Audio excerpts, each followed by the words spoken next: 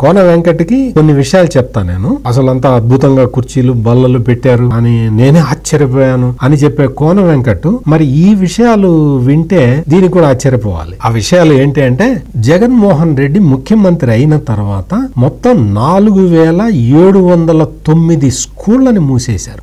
నాలుగు వేల ఏడు వందల తొమ్మిది స్కూళ్ళని మూసివేశారు. మొత్తం రెండు వేల నలభై ఐదు ఎయిడెడ్ స్కూళ్ళు ఎయిడెడ్ పాఠశాలల్ని మూసేశారు. ఎయిడెడ్ పాఠశాలలు ఉంటాయి కదా కొన్ని సంస్థలు నడుపుతూ ఉంటాయి. వాటికి వాళ్ళ టీచర్ల శాలరీలు అవి గవర్నమెంట్ రియంబర్స్ చేస్తూ ఉంటుంది. అటువంటివి రెండు వేల నలభై ఐదు స్కూళ్ళు ఎయిడెడ్ స్కూళ్ళని మూసివేశారు. ఇదే కాదు మరీ విచిత్రంగా. ఏంటి అంటే రెండు వేల ఆరు వందల ప్రైవేట్ స్కూళ్ళు మూతపడ్డాయి. కొన వెంకట్ గారు రెండు వేల ఆరు వందల ప్రైవేట్ స్కూళ్ళు జనరల్గా గవర్నమెంట్ స్కూళ్ళు మూతపడితే ప్రైవేట్ స్కూళ్ళు అభివృద్ధి చెందాలి కదా? విచిత్రంగా ప్రైవేట్ స్కూళ్ళు కూడా మూతపడ్డాయి.